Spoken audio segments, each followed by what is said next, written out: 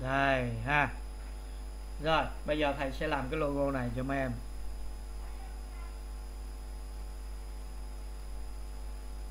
Bây giờ thầy làm một cái còm mới. À, cái logo này nó vuông. Mình cho nó vuông. 720 ha. Ok. Cái logo này lấy nó nó xoay trong vòng 2 giây ha. 2 giây. Đây, mình luôn luôn làm cái này trước ha. Rồi, đây. Một cái cửa sổ, đây. Rồi, thầy sẽ nhập cái file AI vào. Thầy có vẽ cái file AI của cái logo. Ha, đây. Bỏ vào đây. Thì nó sẽ báo, đúng không? Đây mình sẽ chọn composition. Đây là cái file logo mới ha. Đây cái file logo thầy, mới làm. Mấy em có thể lấy từ đây, hoặc là lấy từ bên kia gì cũng được. Thì ở đây mình phải còng vợt đó. Đây mình không thể làm sao mà cho nó ờ, thành cái file ấy cả. Ha, không có không có thành cái đường vẽ, mình phải còng vợt. Vô đây mình cho nó xuống tí ha. Rồi, chính xác nha chọn ba cái này. Bấm chuột phải. Ở đây nó có create, ha. Convert, ha. Create shape. Tức là mình tạo cái shape layer từ cái vector layer, ha. Mình tạo cái shape layer từ một cái vector, đường vector khác đưa vào. Đây, nó thành ba cái hình, ba cái layer. Thì nó sẽ tự động nó giấu ba cái này đi. Mình có thể delete nếu không cần ba cái này là ba cái đường sáp. Ha, lúc này là ba này là ba đường sáp. Thì mình copy nó lại thành một. Đây, group 1 group 2 group 3 ba cái ha. Copy này. Hình trên C. Hoặc là mình copy cái bát bên trong này cũng được. Hình trên C. Bỏ vào đây. Hình trên V. Là nó sẽ vào, nó nằm ở đây. Ha, bên này cũng vậy. Copy hình trên C. Bỏ vào đây hình trên V. Rồi hai cái này mình delete đi. Mình không cần nữa ha? Thì nó sẽ có ba cái ở đây. Bỏ cái stock này thấp xuống thì nó sẽ sáng đều ba cái ha? Đây. À, lúc này cái hình nó chạy lung tung ha? Thì mình chịu khó mình lấy cái hình mình bỏ vô mình canh. Không có gì cả. Bây giờ mình mới dời nó. Ha đây, mình bắt đầu mình giờ nó đi nè. Thì mỗi một cái bát mình sẽ chọn. Ha, một cái bát này nè, mình sẽ chọn và mình giờ đi.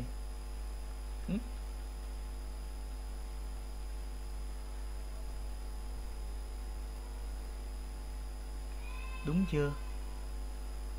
Để giấu từng cái đi cho dễ nhìn. À cái vòng đã nằm đây. Này, logo này. Rồi, cái này là cái lớn, cái này là cái nhỏ. Ha.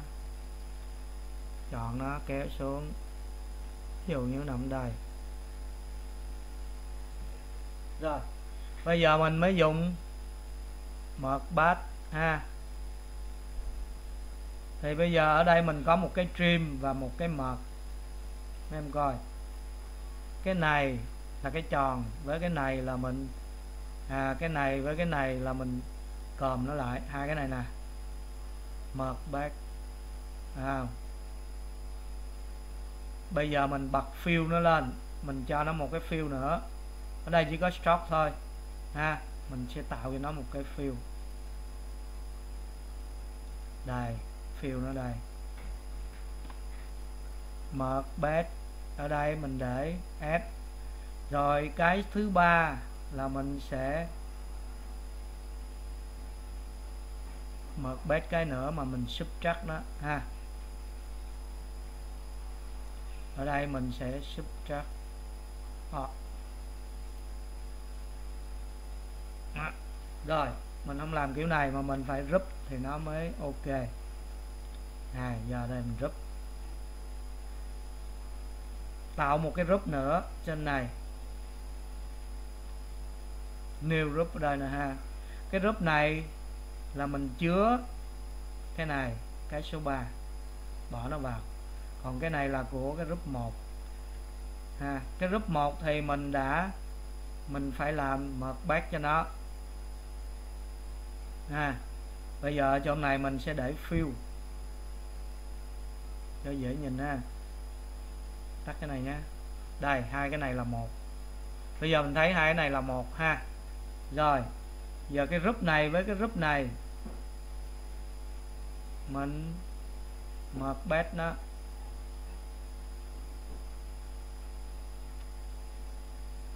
Gì? À, hai cái này mình bỏ vào trong một cái group. Ha. Hơi phức tạp nha cái mật bát này đúng rồi. Ở đây mình mới subtract à, internet. Nó mới cắt bật cái này lên. Nãy mình giấu đâu rồi. Mở nó lên. Ha bây giờ nó mới cắt. Nó mới cắt mà mình để ngược thì mình phải đổi nó lại. Đổi chưa? Đổi rồi mà.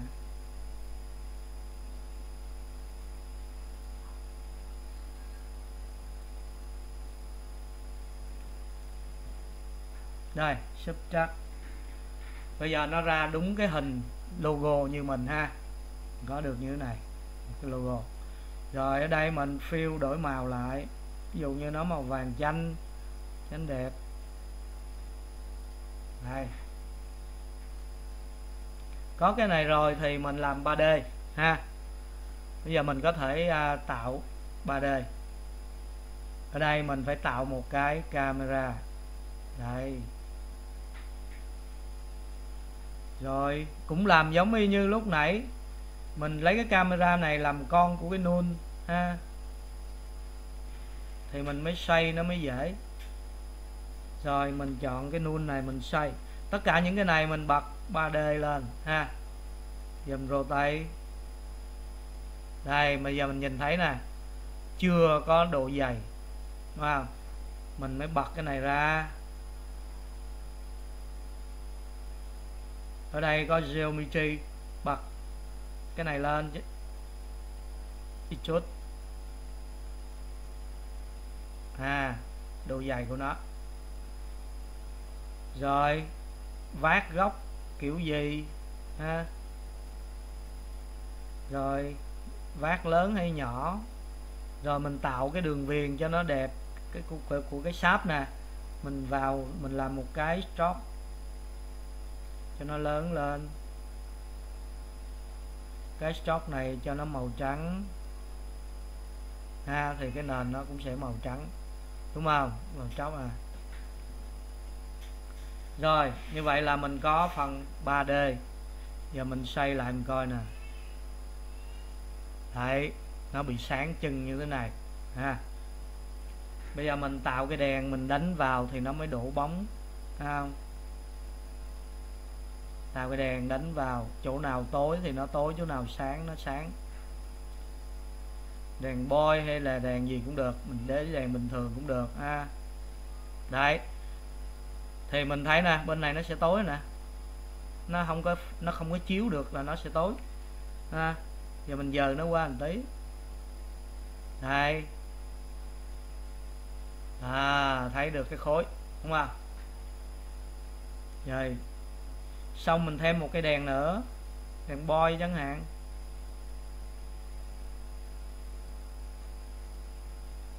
Cái đèn này có thể cho nó vàng vàng tí cho nó đẹp. À, ha mình cái này nó muốn chiếu thẳng hay chiếu lên trên thì cái đó là tùy mình.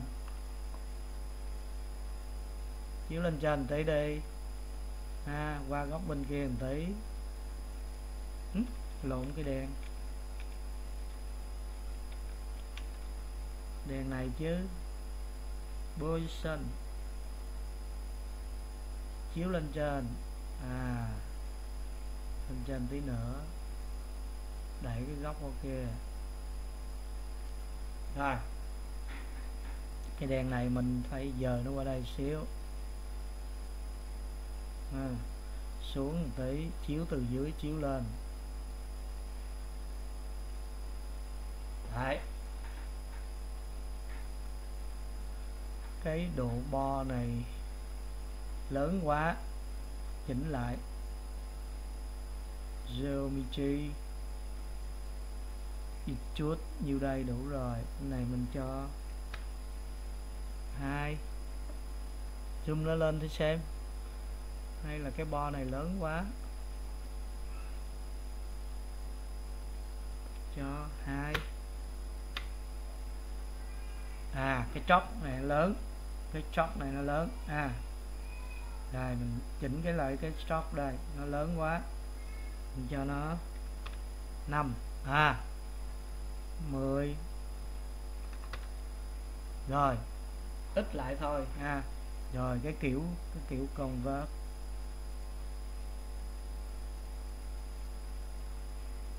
Cái này thì nên lớn cho nó sâu, đúng không?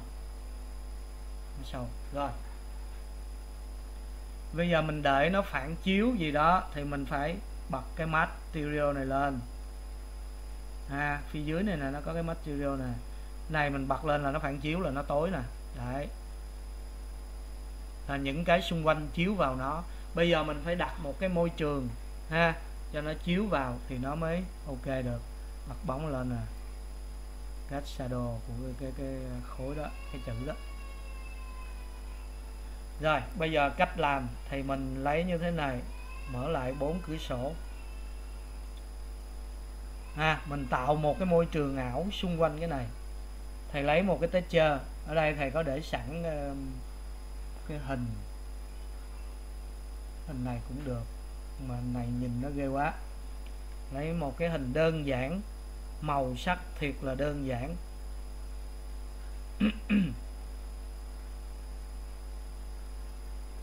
lấy cái bóc này đi.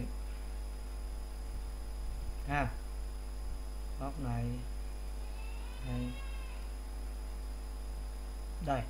Thầy lấy cái bóng này đi, bỏ ở đây. Rồi? Đây ha. Rồi. Bây giờ thầy tạo nó vào đây. Bỏ nó vào đây. Ha.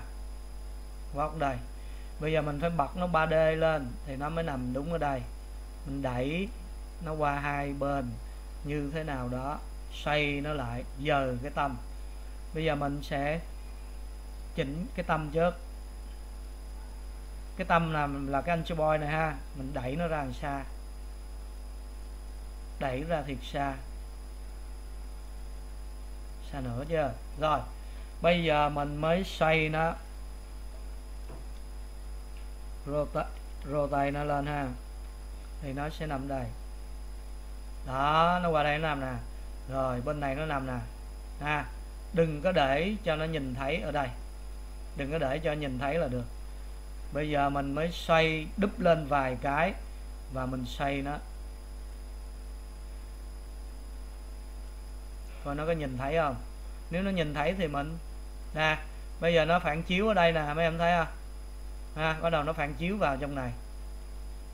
Thì ở đây mình phải scale chiều cao của nó lớn lên. Ha, scale ở chiều cao. Tắt cái này đây chiều cao nó là này. Ha keo nó lớn lên chiều cao.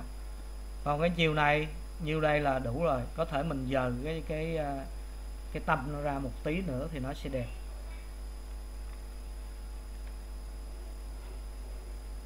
à, xa xa tí nữa, nó sẽ đẹp. Ha? Ồ, xa quá, nó sẽ không thấy. Thì mình cho này rộng ra. Thôi, vậy mình để sát vào đi. Nó lớn lên rồi đó. Rồi, bây giờ mình mới xoay nó nha. Xoay lần nữa nè.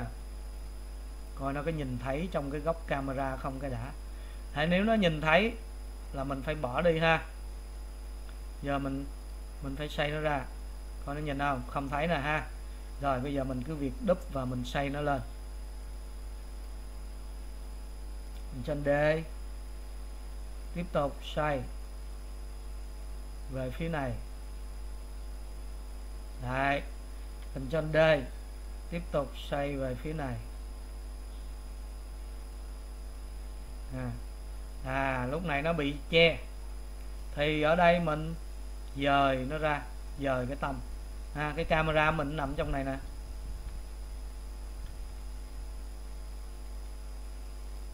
Đâu rồi? Đây. Camera mình nằm đây.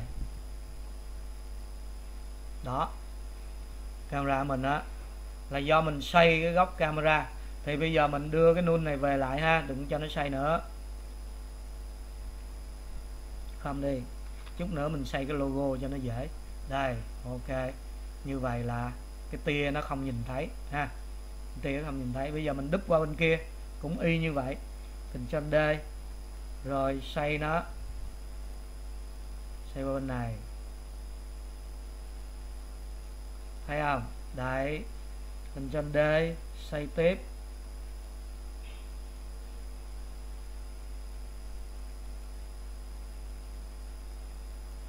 Ctrl D xây tiếp cái nữa. Đừng có nhìn thấy. Thấy rồi. À giờ mình mở này cửa sổ nè, là quan trọng. Đây, giờ nó thấy, nó dính ha. Mình giấu đi. Hay nó dính là mình phải kéo nó rộng ra. Rồi, mở cửa sổ này lên lại. Nè, nó dính vào đây nè. Mình chọn nó, mình xây nó ra.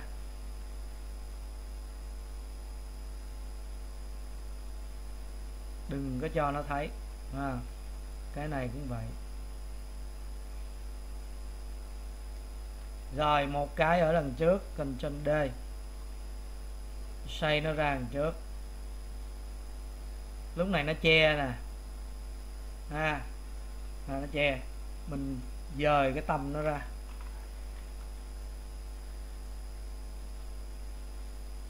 Làm nó nè đây lúc này mình dời cái này ra. Dời qua khỏi nó luôn. Dời qua khỏi camera là nó sẽ hết thấy. Đấy, hết thấy. Ha này mình scale nó lớn lên.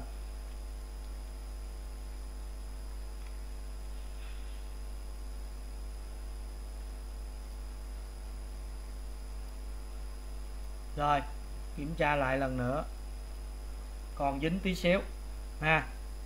Mình có thể xây nó ra. Bây giờ mình mới xây cái chữ nè. Đóng hết mấy này đi. À, bây giờ mình thấy cái background của mình rất là nhiều ha. Rất là nhiều background. Rồi bây giờ mình xây cái chữ. Ha phản chiếu. Ha thấy nó phản chiếu à? Mấy em nên nhìn thấy nó rõ ha bây giờ cái phản chiếu này nó rõ quá, mình giảm nó đi. Cái phản chiếu này nó rõ thì mình giảm. Material nè, ở cái phần sắp, ha, sắp nập nè, đây, giảm nó xuống. Không có rõ cái hình, đừng để cho rõ hình. Đây, ha, nó giảm mất cái hình đi, giảm nữa thấy chưa? Thì nó không còn rõ cái hình nữa. Phần này có thể tăng lên phản chiếu mạnh lên. Rồi ở cái phần intensity cho nó sáng lên. Nếu cần thiết à sáng lên. Lúc này vấn đề kim loại của nó là nó hiện lên rõ ràng. À, zoom lại nè. Đấy. Mình có được cái logo nó phản chiếu. Rồi giấu thêm hai cái này một tí nữa ha. à mu nó ra. Rồi, ra ngoài. Cái này, mu nó ra ngoài. Rồi, xong. Bây giờ mình diễn cái phần camera à mình diễn cái logo. Ha giờ mình cho nó về không. Cái logo trong vòng 2 giây là nó xoay được một vòng. Đặt kỳ cho nó. Ha đây, mình để dấu, trừ một hay một gì cũng được, thì nó xoay ngược xoay xuôi thôi. Rồi, như vậy là xong, bây giờ mình animate nó. Cái màu này mình sẽ giảm ánh sáng lại ha. Giờ mình coi. Là logo nó hiện lên ha, ánh sáng ha. Phần trên bị cháy quá, đúng không?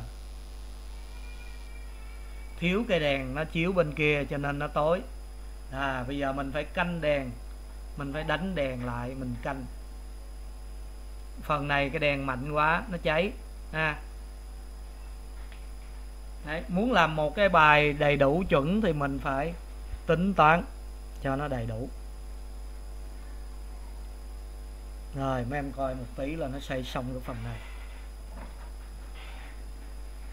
Để làm cho nó đẹp thì mình phải ngồi mình canh, ha, từng tí từng tí. After effect là hiệu ứng nó phải như vậy. Mình có thể đánh đèn ngược tới ngược lui. Và tắt cái phần đổ bóng đi.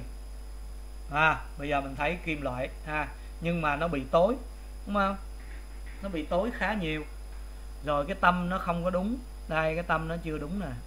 Này cái tâm nó không đúng thì mình phải dời cái tâm nữa. Này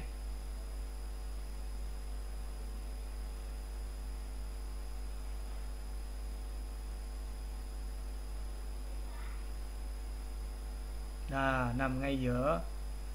Rồi bên này cũng vậy. Thôi tạm thời như vậy là nó nằm ngay giữa ha. Bây giờ mình canh lại mấy cái đèn.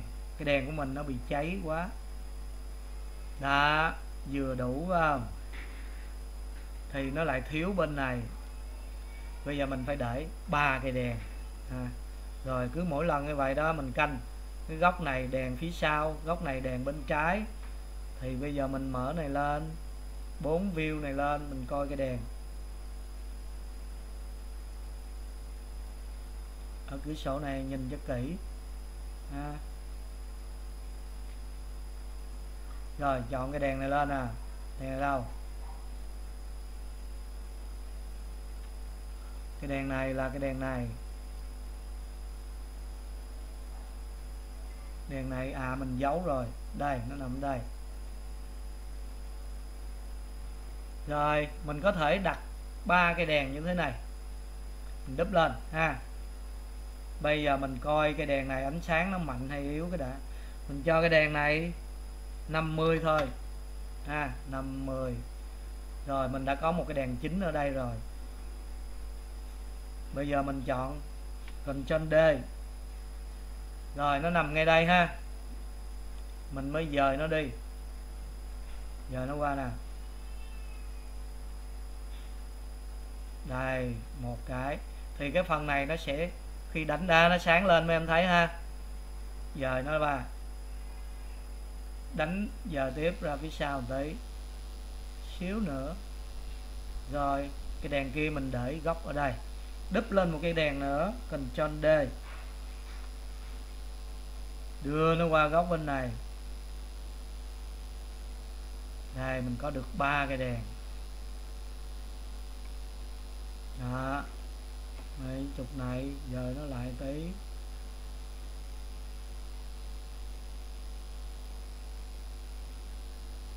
Để thấy ba cái đèn. Bây giờ góc nào nó cũng sáng ha. Này góc này cũng sáng góc này cũng sáng. Rồi một cái chiếu từ trên xuống một tí. Hiện tại mấy cái đèn đang nằm nè dưới đất nè ha. Nó thấp ở dưới nè.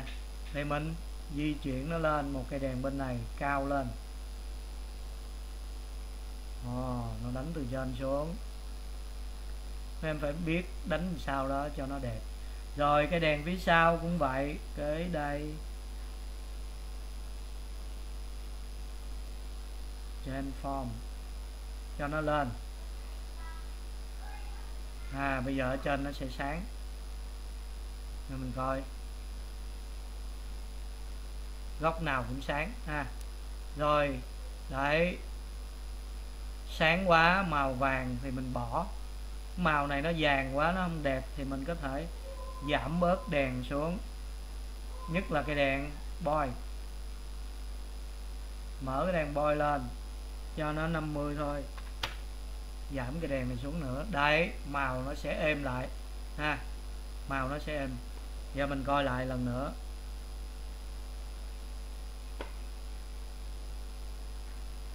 Nó không còn tối giống lúc nãy nhiều, ha hơn màu vàng này mình sẽ giảm bớt màu. Bây giờ bây giờ ánh sáng nó ra chất kim loại hơn. Ha.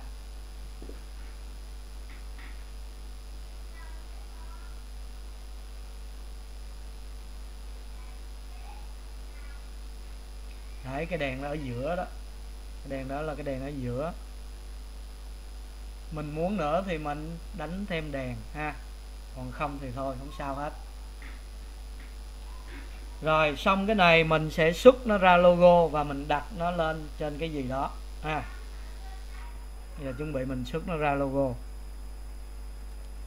Cách xuất một chuỗi hình ảnh. Mình đừng có để nguyên một cái còm. Nó nhiều thứ 3D là máy nó chạy không nổi ha. Mấy em chú ý mấy cái này. Máy nó phải cần à, đủ dung lượng lớn nó mới chạy nổi. Rồi. Giờ mình thấy nó quay, ok. Có thể chỉnh màu lại cho nó đẹp tí. Ha.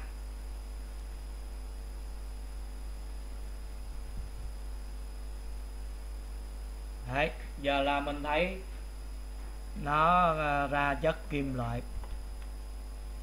Đó là cái cách mà mình tạo được cái logo này.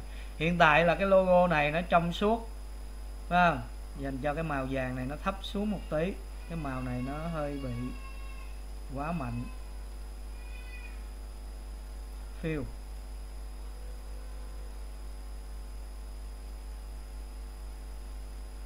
à. Ok. Rồi, màu về đây cho nó dễ chịu tí. Giờ mình render nó ra, cách render thì à, giống như lần trước ha mình cũng chọn full. Làm test đầy đủ hết mấy cái này cho nó chuẩn cái đã. Từ góc vát cho tới các cái à, phần gì đó mình phải chỉnh cho nó chuẩn hết ha. Mình thích góc nào mình cứ chỉnh cho nó đẹp cái đã.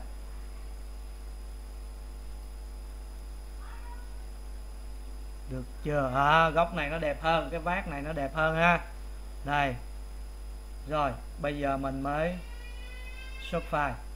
Share cho nó một cái file. Đây là logo một. Rồi giờ mình xuất nó ra. Add to render. Mình không có xuất video ha?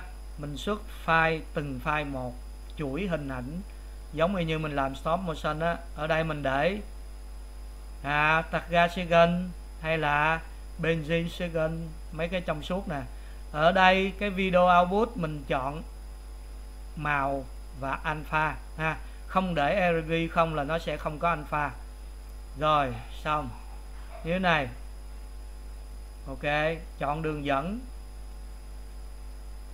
Này là logo có sẵn ha. Rồi, mình chọn và đường dẫn nè. Thầy bỏ vào trong cái phần render. Đúng không?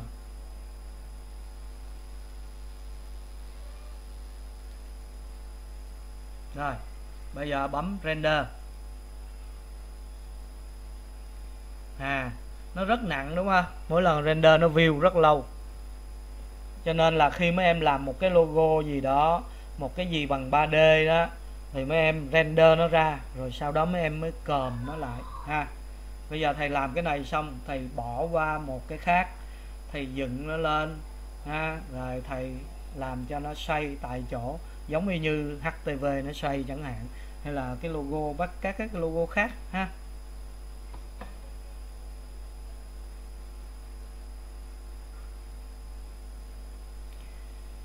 Mình còn hai bài nữa, nhưng mà thầy nghĩ chắc thôi, tạm ngừng.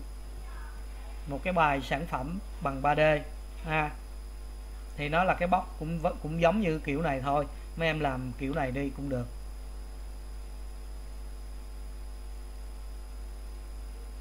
Làm cái này thì nó cũng ứng dụng hơn, còn cái bóc 3D thì mình làm phần mềm 3D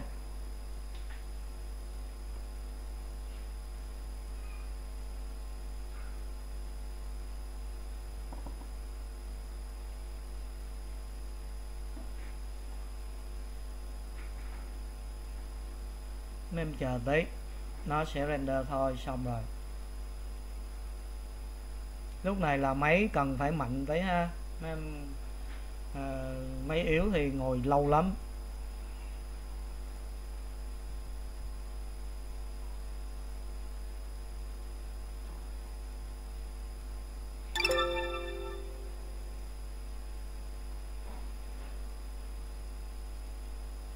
Rồi giờ ra coi. Ở đây desktop render logo 3 thầy có ha. Nó ra từng file. Mấy em thấy không? Nó ra từng file. Giống y như mình làm stop motion hay là render bình thường. Rồi bây giờ thầy tiếp tục. Thầy mới tạo một cái còm khác. Hoặc là à, cái này đi. Ha. Còm nào? Đâu hết rồi. Thầy bỏ cái này. Thầy lấy cái logo thầy bỏ lên đây. Ha. Bỏ hết. Thì mình mới đem cái logo vào đây. Import nó vào. Rồi, ở cái phần logo render render 3 chọn vào và ở đây mình để mặc định của nó là sequence ha. Cái sequence nè. Rồi, nó lên đây. Kéo nó thả vào. Mấy em thấy nó trong suốt à, Đấy, bây giờ nó mới nhẹ được ha. Nó mới quay logo. Rồi sau đó mình scale nó lại một tí. Logo nó phải nhỏ mà. Rồi nó nằm ở góc nào? Để lên đây. Đẩy lên. Rồi nếu tốt nữa thì mình thêm hiệu ứng chữ ha rồi để cho cái này nó xoay liên tục thì mình đúp cái này lên. Ctrl D. Kéo nó ra đây. Ctrl D. Kéo này ra đây. Rồi bây giờ à, mình sẽ xem ha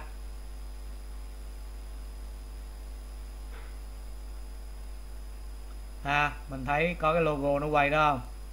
Rồi ở đây mình muốn gõ chữ mình làm hiệu ứng bất cứ cái thứ gì quảng cáo sản phẩm gì đó mình làm thoải mái ở đây ha và bây giờ mình có được một cái logo 3D rất là ok.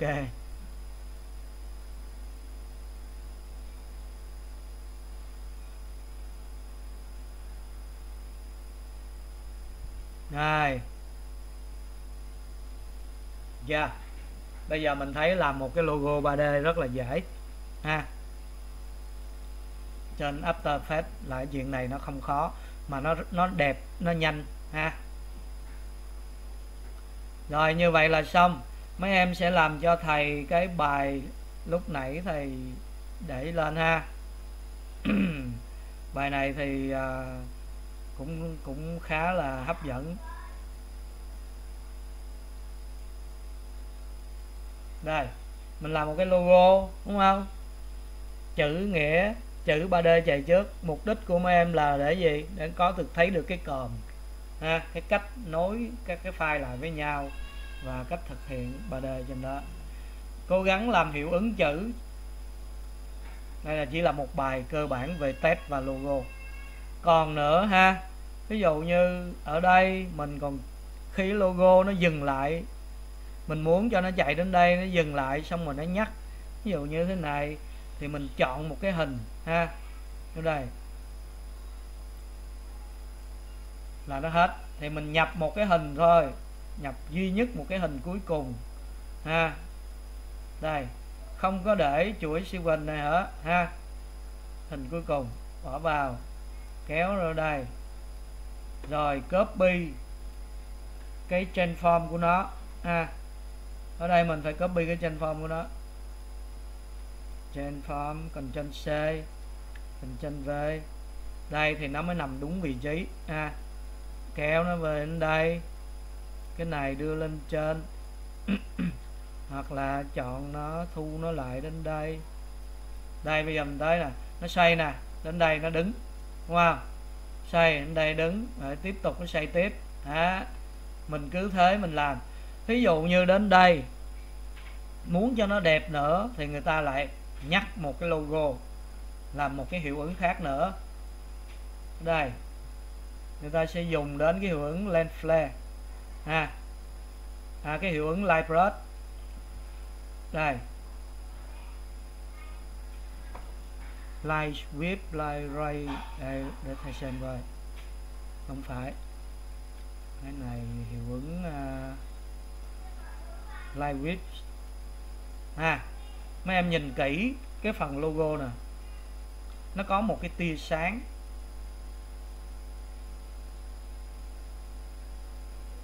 à đây, có cái cái đường sáng nó đi ngang qua nè. Ha, cái sáng nó chạy nè. Đấy, ánh sáng nó chạy ngang qua. Mình, thường thường mình sẽ sử dụng cái này để mình tạo một cái hiệu ứng nhắc logo. Ví dụ như lúc đầu nó nằm ngoài. Lúc đầu nó nằm ngoài, nó nghiêng nè, nó sẽ, nó chạy qua. Thì mình sẽ đặt key cho nó chạy qua. Ở đây.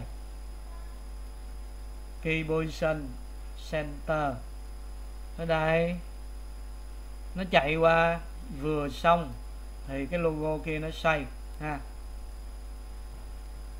Đó mấy em thấy cái đường nó chạy qua, ha. Rồi, chút nữa mình view ngay chỗ này thôi.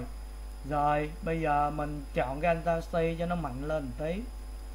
Kéo này vào giữa, nó sẽ sáng hơn, phải không? Có cái một cái tia sáng ở đây. Rồi, sáng quá. Vừa vừa thôi. S. S nhỏ S lớn S nhỏ. Rồi, bây giờ mình cho nó test thử ngay đây.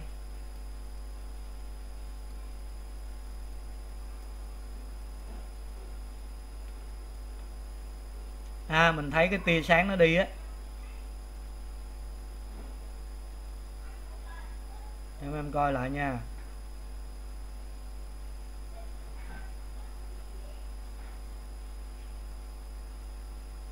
Đó tia sáng nó chạy vô ha. Rồi giờ mình coi hết. Ha dừng lại. Nó dừng lại. Đây nó quét cái tia sáng qua. Ha dần coi nè. Đấy.